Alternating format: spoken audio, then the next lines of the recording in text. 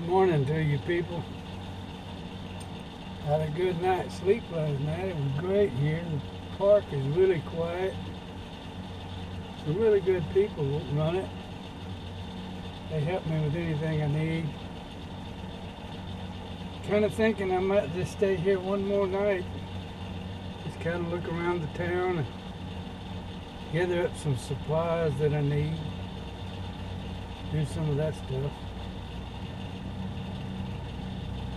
But it is a really, really quiet place and a really good park. Have clean bathrooms and shower. Fellow wants to take a shower, which I did. Got saved up. So, kind of thinking about staying one more night and moving into the Big Bend National Park uh, Wednesday morning. I'll move in there. Start heading down to my uh, reservations that I have down in the park there at Rio Grande Village. Thinking about doing that. Kind of missing my wife back home. She's uh, monitoring everything from home. I send her videos. We text throughout the day. Hallie's doing good. She's still socked up in her bed down there. She's adjusting to this type of life.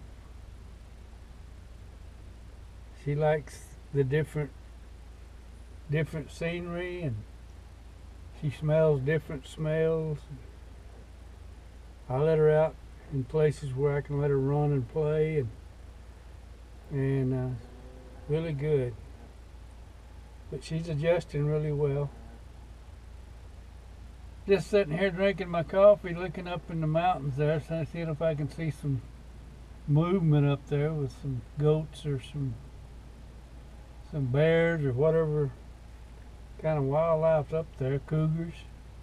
Hadn't seen nothing move yet, but it's still a beautiful sight.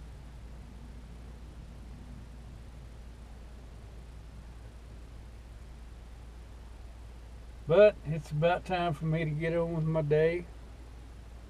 I need to go to town and buy a few supplies and, and uh, I'll check back with y'all later on.